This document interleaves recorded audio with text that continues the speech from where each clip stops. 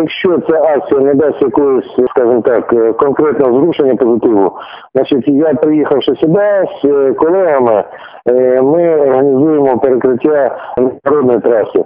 Я підлучу до цього працівників інших шахт, запропоную їм, спільну акцію зробити, е, тому що ми повинні добитися, нас повинні поважати і з нами повинні рахуватися. Тим більше, що ми не вимагаємо нічого понад того, що ми заробили. Скільки шахтарів не отримали зарплату? На шахті працює 496 шахтарів. Е, Ця сума складає приблизно 12 е, там з копійками мільйонів, і заборгованість за вересень, серпень, липень 75%. Три місяці це все набігало, набігало, нам не платили, нас ігнорували. На день шахтаря дали е, всім шахтарям, всім шахтам, які на Волині, дали е, деяку частину заробітної плати. І після дня шахтаря давали.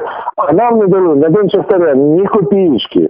І не дають до сьогоднішнього дня ні копійки. Верніше, е, брешу, в суботу нам дали цих 2 мільйони, які покрили 20% червня, 25 липня. А як вам пояснюють цю затримку із зарплатою? Пояснюють масою причин. Люди, до яких я звертаюся, як то кажуть, переводять стрілки на інших керівників, наприклад, на керівника шахти, який був зобов'язаний реалізувати наше вугілля, яке начебто лежить на складі ПАТ Львівська вугільна компанія, це багачена фабрика у місті Соснівка. Один на одного показують пальцем, той повинен, той повинен, той повинен. Для того я подав в СБУ, прокуратуру генеральну, в МВС, Арсенію Яценюку звернення з, з тим, що е, коїться правопорушення, що коїться злочин проти працівників державного підприємства.